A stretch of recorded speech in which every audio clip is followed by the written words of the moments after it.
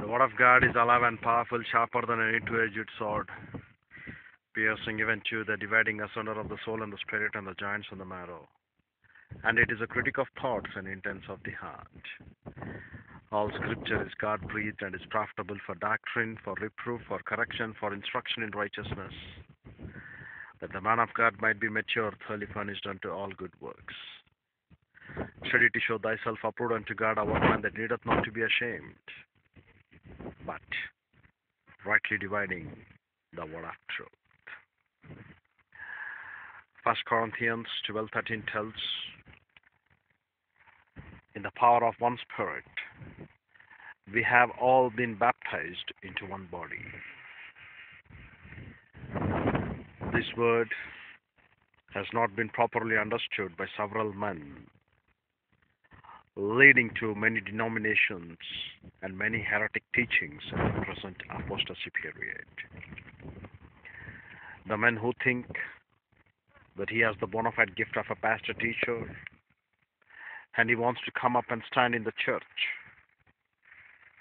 And these people who have been earlier following to another person of the same church who started it, and if they could have some breakup, particularly the so called great churches being headed by Zach Punin in my place where I reside in Karnataka.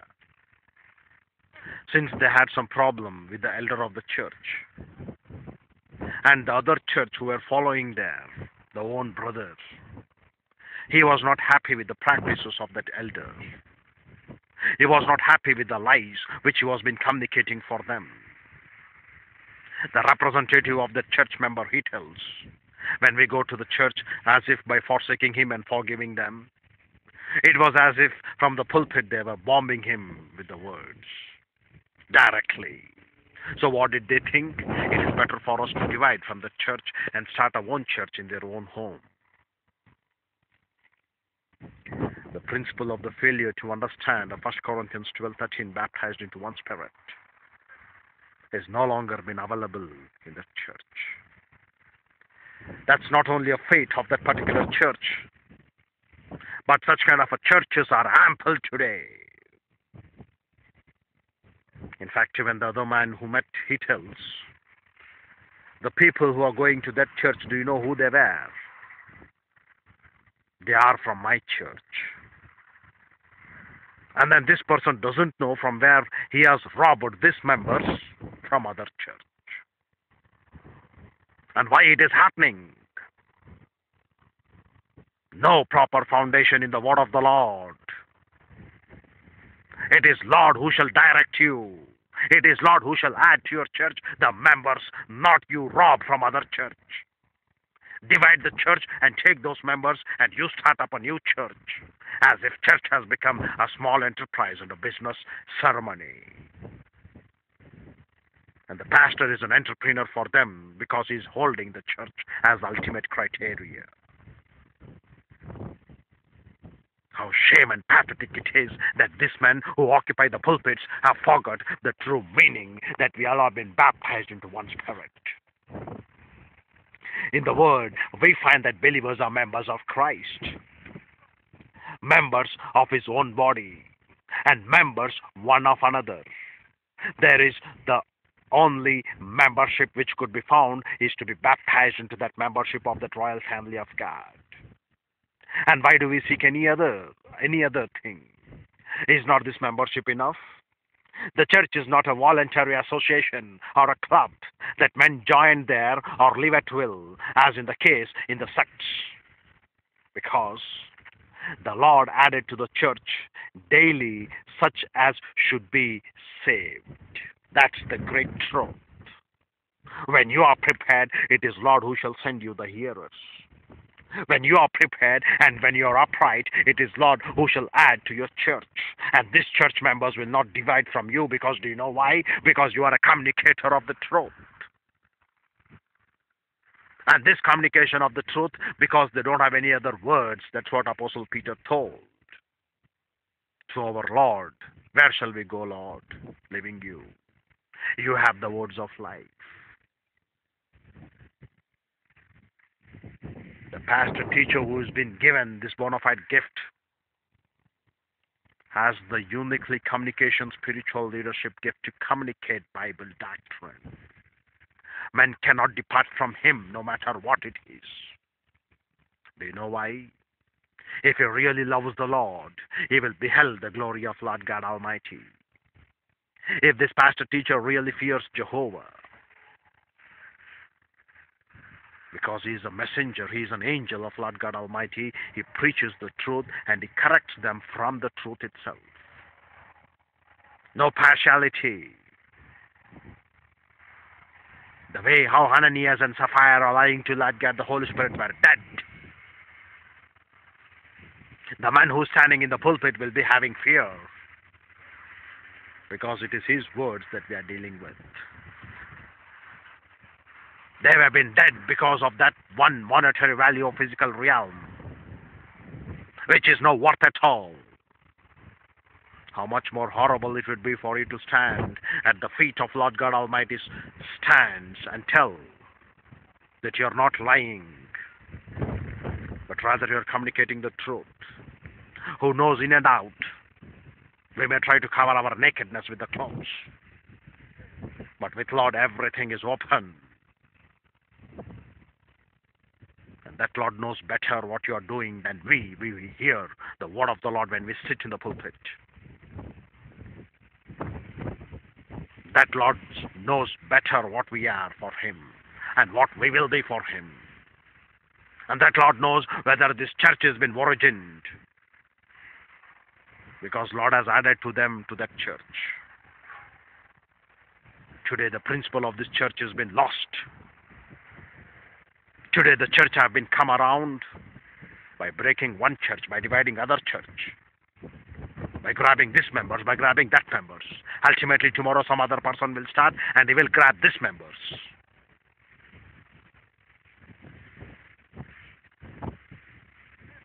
And in my country like India, where if I need to travel 3000 kilometers by train, the direction of the train will be forward and backward again because the destinations and the routes are like that.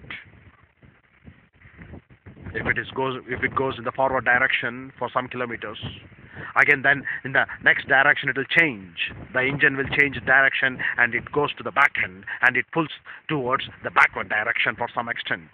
And from there again it changes the direction. It comes to the front part and again it goes to some other direction till that end nearly three times or four times it needs to change the direction so that it can reach the capital of this country known as New Delhi. And the people who are traveling from this Karnataka end knows very well what it is to travel 2000 kilometers in the train and how many times the direction will be changed. That is what it is happening today in the churches as well, dear brethren. This church to some extension that church to some extension. From that church to move to third church to some extension. Lord has not added them to that church because the minister doesn't have that bona fide gift to be added. Because the bona fide gift member leads them, he doesn't drive them for butchery. He leads them, he cares for them. Not telling to the point that if he gets a good proposal for this girl, he doesn't search that in any other church, but he wants to add that into his own church because that boy and this girl should be continuing to that church. And that is happening today as a small business in the churches around.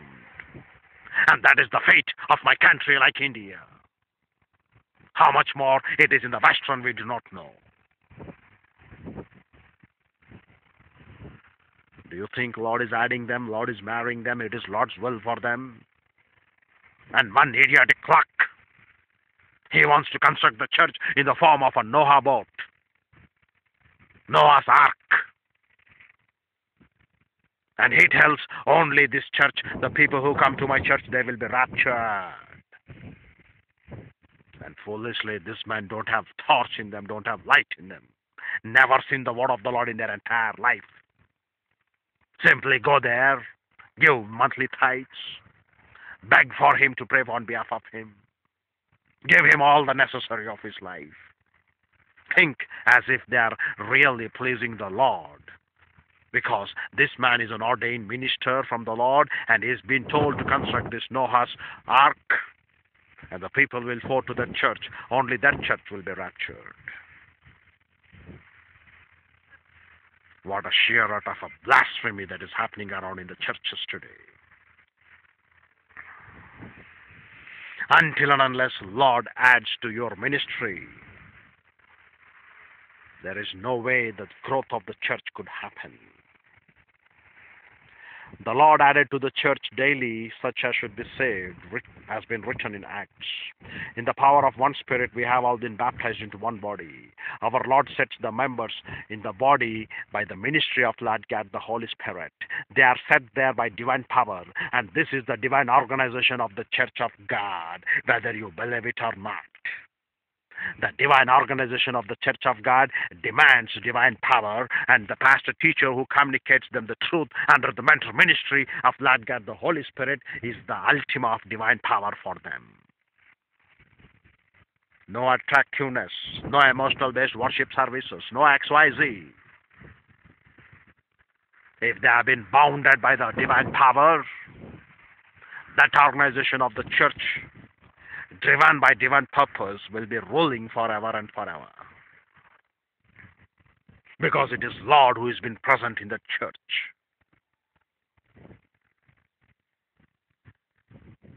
No other member, no other man, no other method, no other techniques, no other administration, no other best management techniques can run that church, dear brethren, whether you believe it, take it or not.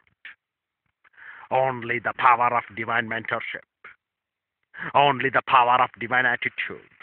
Only the knowledge of Bible doctrine, empowered by the ministry of Lord God, the Holy Spirit, wherewith the gift of a pastor teacher given to a male believer to rightly divide the word of truth, his responsibility, his obligation is to inculcate the truth to the hearers who are positive for his word of doctrine by a consistent of accuracy in exegesis, isagogical, and categorical explanation, will empower and organize the church to be driven in the power ministry of Lord God, the Holy Spirit, dear brethren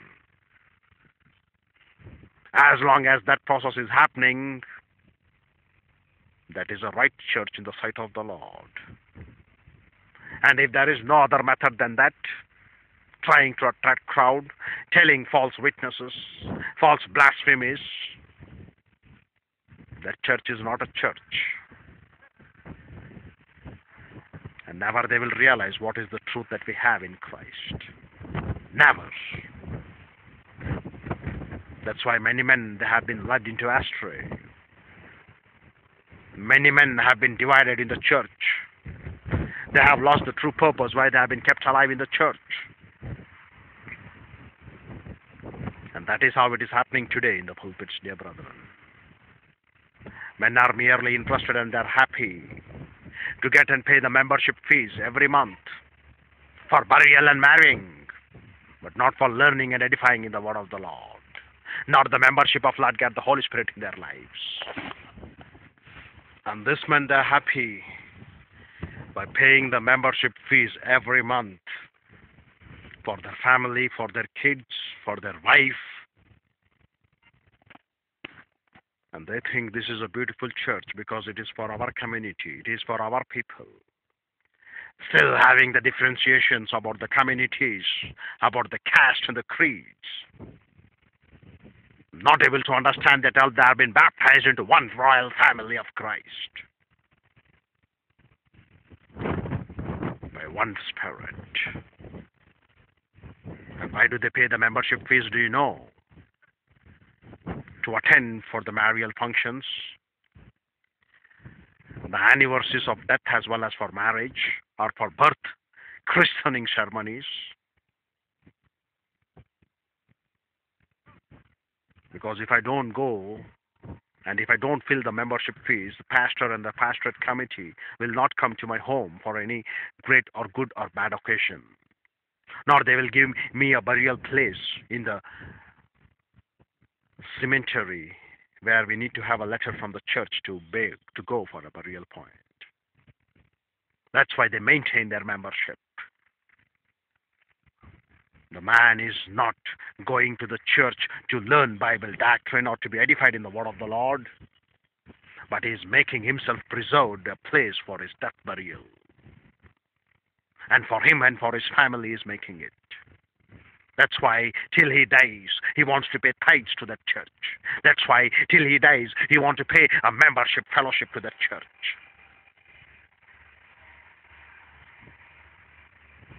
And that's why he wants to join the church. Not able to realize that he is a professor, he is a saint.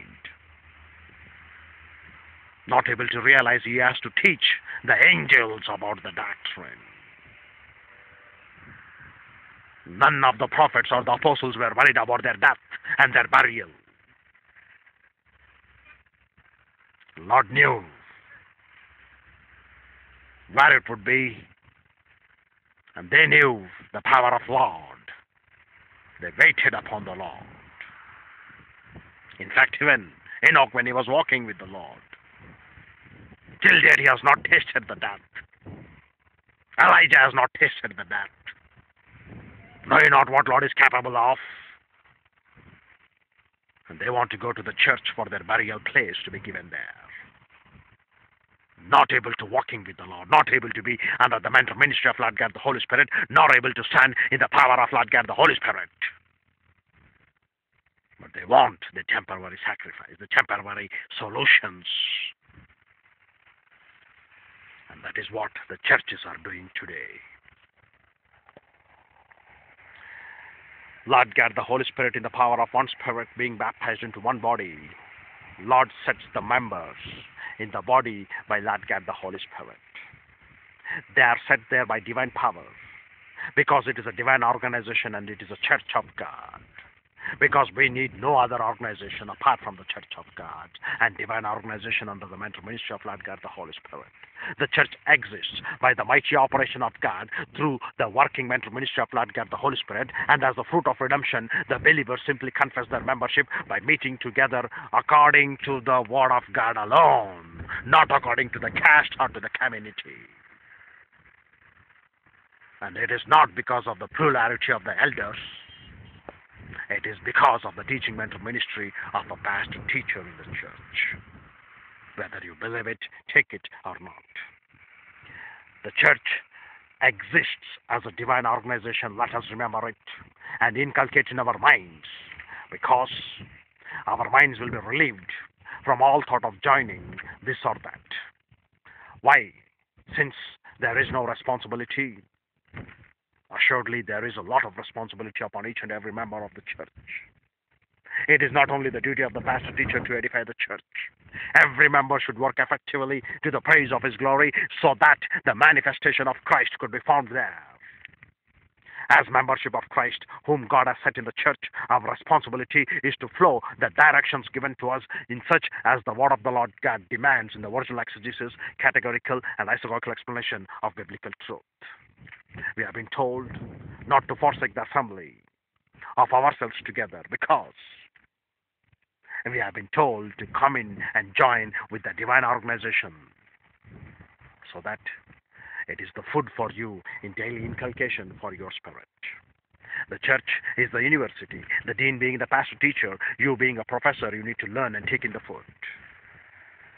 The saints meet together not as members of this or that sect or caste or creed or community, but simply they believe and they come as believers and they are the members of Christ baptized into one spirit, into one body by Lord God the Holy Spirit.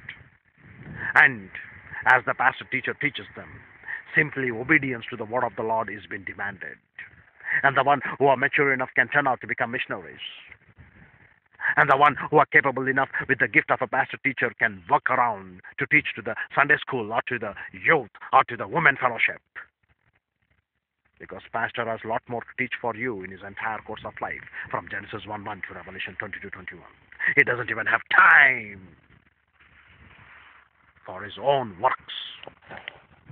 Far less the church can think it is his duty to look and to marry, to bury, to do this, to do that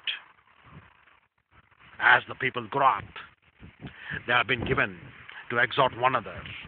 The elders have been made for tables. And the duty of the pastor teacher is to communicate the truth. As they grow up maturely, the bona fide gift will cause them to realize what it is to walk in obedience to the word of the Lord.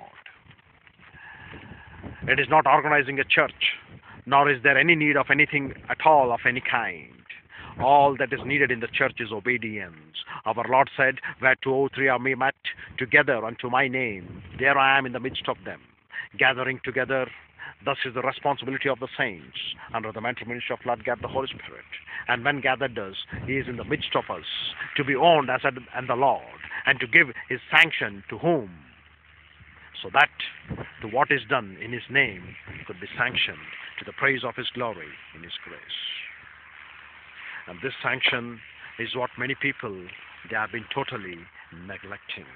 Because today the Christian's privilege of having an impact as an invisible hero by reaching to that spiritual maturity through the church, because church is a production unit to produce those winner believers, those believers who beheld the glory of Lord to the maximum glorification of Christ. A church is a place where the believer will turn out to become an invisible hero only by learning the word of the Lord, by passing all the three stages of his unique spiritual life. Today, the Christian privilege of having impact as an invisible hero is being absolutely infringed because many ministers have neglected the responsibility to teach their listeners Bible doctrine, but instead they go at them to become involved in emotionalism, involved in personality cults, involved in church programs, involved in social work or political activism.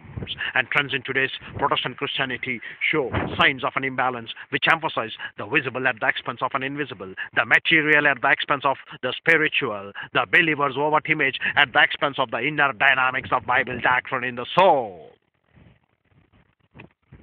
That is what it is happening today in the churches, and it is not borne by the ministry of Lord God, the Holy Spirit. That's why the churches have been broken. That's why the sects have been divided. That's why the community caste and creeds are coming into place. Because of the negligence of the responsibility of the pastor teacher laid down upon his shoulders who has been neglecting, neglecting, neglecting to inculcate the word from the original language of the scriptures through isagogical, categorical, and exegetical exposition of biblical truth. That's why the churches have been broken around. This problem has been taking root because of the ignorance of dispensations. The overwhelming of majorities of Christians today do not know what God has provided for them or why He has given them so much. After salvation, what if you could ask anyone, they do not even know whether they have been saved because of the guilt conscious of their eternity question has been asked for them constantly, whether he's been saved or not, whether he's been working or not.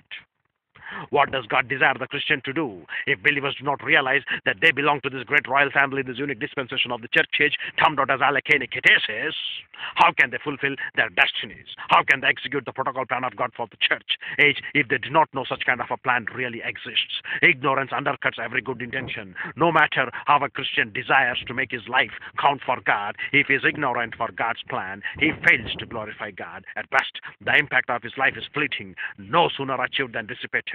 At worst, his impact is for evil as he inadvertent struggles in Satan's cause to improve this devil's world. And he forms a devil's witnessing church. Not the Royal Ambassadors Church, Royal Witnessing for Christ, because there is no truly the mental ministry of Lord God the Holy Spirit.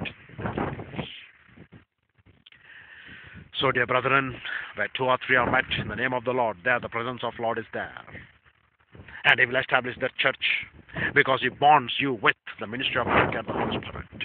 He unites you with the divine organization. And the pastor teacher leads them.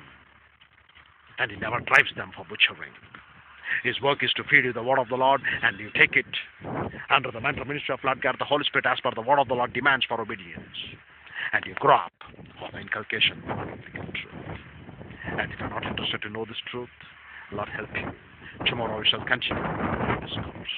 With our head bowed and eyes closed, the closing moments being dedicated to those who are here without question, without hope, and without eternal life. Inaudibly telling to Lord God the Father that they believe upon Christ. That is the moment itself we shall have this eternal truth. This eternal truth is for you, for by simple act of faith, which is very next to your soul, which meant to say, believe in the Lord and Savior Jesus Christ, your positive volition, and you shall be saved. And whereas For the believers, the mandate is very clear grow in grace and knowledge of Bible doctrine, and search the scriptures diligently, so that you shall know the truth, and the truth shall set you free. And whereas for the pastor teachers, the mandate is very clear preach the word, kerusothon logan, be prepared in season or out of season, so that the word that you learn will be the ultima for you. And this word is what, dear brethren, because it is Bible doctrine, our breath, Bible doctrine, our food, and Bible doctrine is the purpose why we have been kept alive. And for the diameter of my witnesses wherewith you have been called, the indwelling Trinity is a witness, Bible in our hands is a witness, because each and every word, whether you have been taught clearly or not, and besides our hearers who could be witness for this truth, the nature and the entire angelic host will be our witness. So which way you go, dear brethren, you decide. Ultimately, we all need to appear at the judgment seat of Christ. And what you have done, how much you have done, how much you have done or not, Lord knows, recorded every day. And every day we've been poured down as a libation unto Christ or not, Lord knows very well. So which way you go, dear brethren, you decide. But ultimately, be mindful of the words which they have been written for us. And we need to answer what we have done in our body. Whether it was for the praise of His glory or for the praise of your own glory by making men deceivers in the word of the Lord and not teaching them ICE concept, which is isagogical, categorical, and exegetical explanation, but rather teaching them the useless and worthless things of this earth. So which way you go, you decide.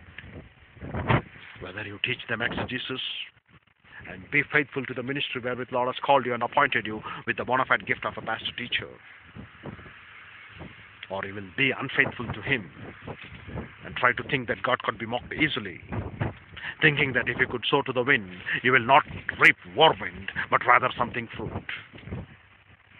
What you sow, that you reap, dear brother. Be careful to the ministry where Lord has called you, to the high calling to serve Him in the heavenly government to employ, what we have been ordained for the praise of His glory in His grace. So, which way you go. Father, we are grateful for the privilege that thou hast given to fellowship with you through thy word.